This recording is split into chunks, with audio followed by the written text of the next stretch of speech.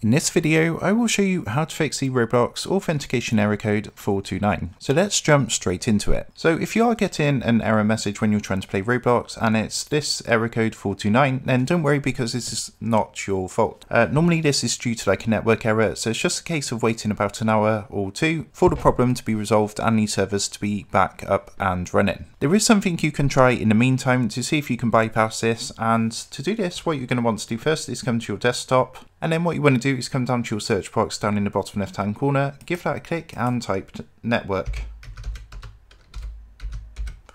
Now underneath best match you should have this come up saying your network connection. So what you want to do is click this to open it and it's going to give you a list of all your current networks and internet connections. Now what you want to do is look for the one that hasn't got a red cross. So you can see these two with the red cross are not currently being used, but this is one that we want to look for. So once you've found this, go ahead and highlight it, right click and then come down and click onto properties. So from here, this is going to open up another window and what you want to do on here is look for uh, Internet Protocol version 4, which this one down here. So you want to highlight this and then again come down and click onto properties. And what we're going to do is just change the DNS server addresses. So what you want to do is come down to the bottom and click this button.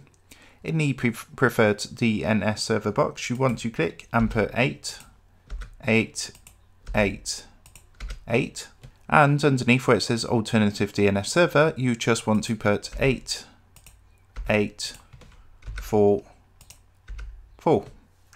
So once that's done, go ahead and click OK to apply the changes and what you can do is just come out of this, come out of this and restart your computer.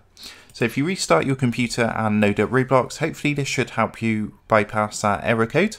However, if it's still coming up, as I mentioned previously, it's just a case of waiting about an hour or two for the servers to be fixed and back up and running. So I hope this quick tutorial helped you out today, and if it did, I would really appreciate it if you was to consider dropping down below the video, leaving a like, and also subscribing to the channel. With that being said, I just want to take a moment to thank you guys for watching this quick tutorial, and I will see you in the next video.